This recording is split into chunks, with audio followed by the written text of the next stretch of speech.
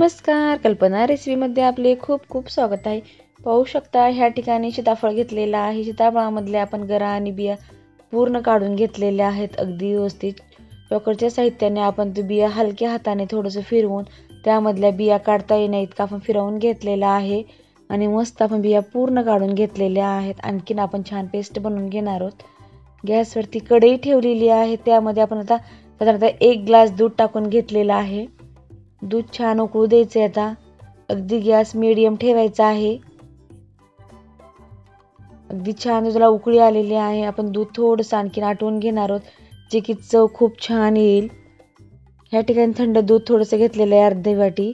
त्यामध्ये आपण custard powder टाकून घेणार आहोत. साधारणतः एक चमचा आपल्याला कस्टर्ड पावडर टाकायचं आहे जे की छान घट्ट आपलं दूध मस्त मिळून येईल आणि चव खूप छान येईल.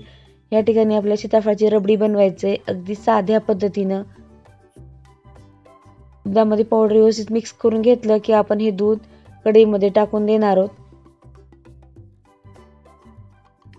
साधारणतः दीड वाटी आपण ह्या ठिकाणी साखर घेतलेली अगदी छोट्या वाटीनं. साखर ही आपल्या चवीनुसार आपण कमी जास्त घेऊ शकतो.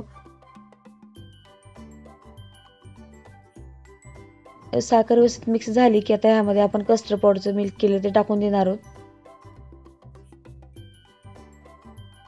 आता छान मिळून येईल दूध अगदी घट्ट होईल. जास्त साठवायची गरज पडणार नाही. ह्या ठिकाणी आपण दूध पावडरही यूज करू शकतो. किंवा एक दोन चमचे खवा टाकला तरी पण चव खूप छान येते.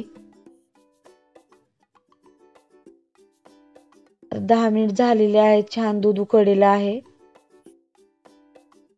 आता आपण जो सीताफळाचा गरा काढून घेतलेला आहे तो टाकून द्यायचे. अगदी बारीक पण पेस्ट करू शकतो पण अगदी छान दरदरीत ठेवल्यामुळे चव खूप छान लागते खाते वेळेस. म्हणून दरदरीतच ठेवलेली आहे. अगदी छान घट्टसर झालेला आहे पाहू शकतो. अगदी छान आपण दरदरीत अशी रबडी बनवत आहोत. घट्ट झालेला आहे आता. दहा मिनिटाकरता आपण गॅस मिडियम ठेवून उकळून घेतलेला आहे. गॅस फुल करायचा नाही. रबडी आता आपली बनवून तयार झाली आता बाऊलमध्ये आपल्याला काढून घ्यायचे. त्यावरतून आपण थोडेसे आता ड्रायफ्रुट्स टाकून घेणार आहोत. चव खूप छान लागते. व्हिडिओ आवडला असेल प्लीज लाईक करा कमेंट करा. पुन्हा भेटूया अशाच एका नवीन रेसिपीसोबत व्हिडिओ पाहिल्याबद्दल धन्यवाद.